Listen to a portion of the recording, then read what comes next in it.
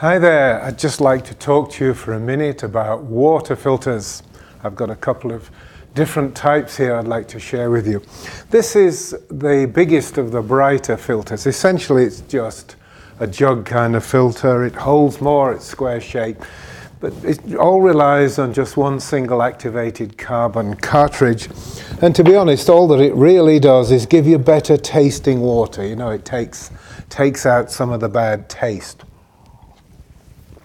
But you know, it's not that good. It's better than nothing, trust me.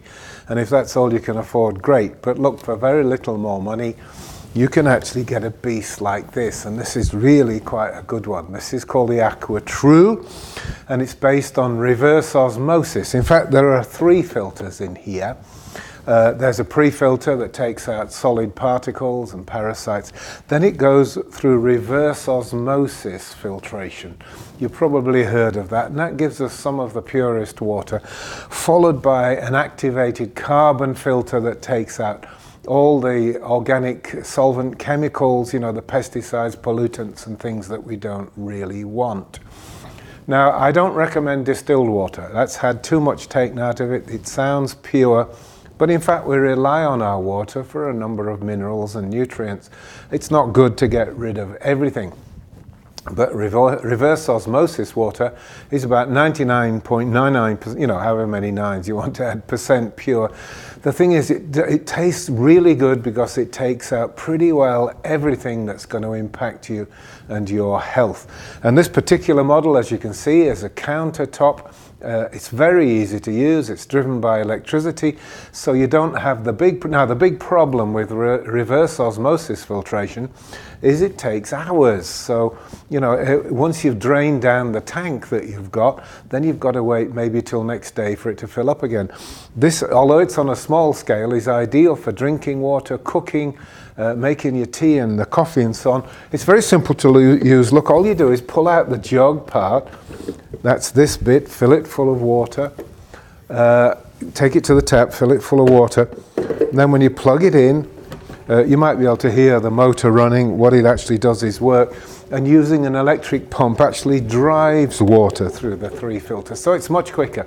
Takes only about 10 minutes to filter, really very pure filter, uh, a typical amount of water that you'd use in the kitchen for half a day or a day. They, these are easy, the filters are easy to service and maintain. When you get one, they'll remind you every so often. The thing has a set life and you don't want it to expire, but they trust me, their suppliers will let you know. But basically, for the basic usage, uh, a cartridge would last about two years, so it's not something you're going to have to change every few weeks.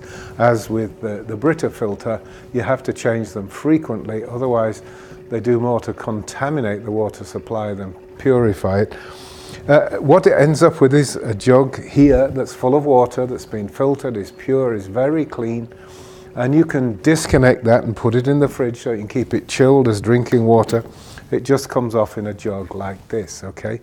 Uh, it's ideal, and the, the lid does flip up, trust me.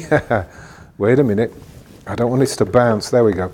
Uh, so you can pour it as a jug. I didn't want it to bounce and slop water everywhere, especially not while I'm making this movie. So very, very easy to use. Uh, and it's not at all expensive. You know, a reverse osmosis system, if you have it plugged in the sink under the tap, can cost hundreds of dollars, up to a thousand or even more dollars. This is just a few hundred. I think it's brilliant. I've got one, as you can see.